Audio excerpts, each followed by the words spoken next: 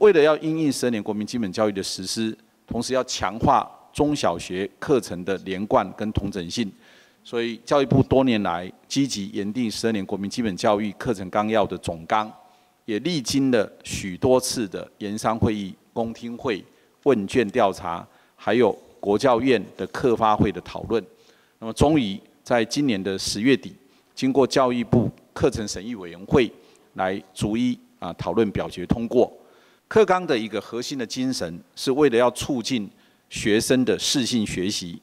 那么各科目的时数分配上面呢，它是以增加选修、减少必修来作为时数分配的一个基本原则。那么更重要的就是，不管是教育部或者是各所学校本身，他们在规划这一些选修课程的时候，都一定要积极用心，同时呢，也要符合学生。在学习过程里面的真正需要，